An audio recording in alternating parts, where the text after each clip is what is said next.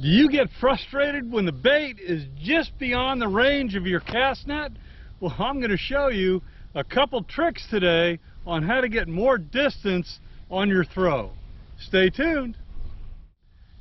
Distance is an issue when you're throwing a cast net, and it seems like the bait always wants to run just out of range. So if you can get a couple extra feet, you'd be in like flint. So the first and most obvious trick in terms of getting more distance is to buy the right size of net for your arm strength. If you get a real heavy net, you're not going to be able to throw it as far as a smaller net. So adjust your expectations on distance based on the size of the net. Now you can get bigger nets with fewer weights on the bottom, but they won't sink as fast. So you're going to have to do that math for yourself. So assuming you have the right weight of net, here's the easy trick.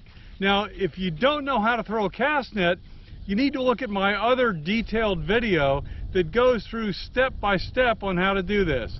I'm going to just dive in and go right to the trick.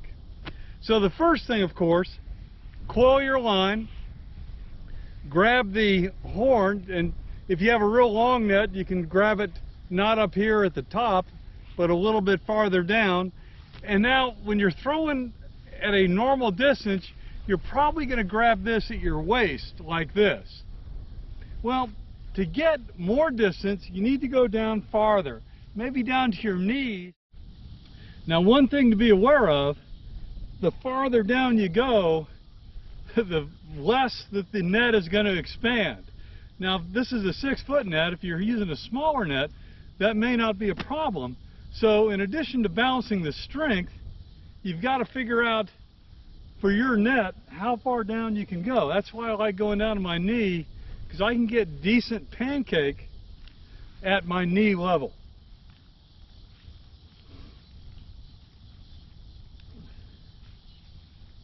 Fold it over the top, clear my lines.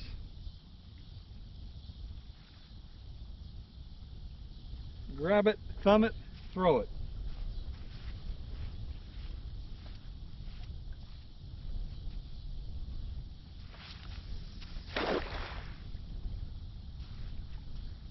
Maximum distance.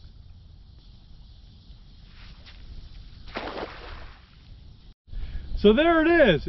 It's really just a matter of going down a little bit lower, doing the same stuff, you can get more distance. And making sure your net has the right weight for your strength.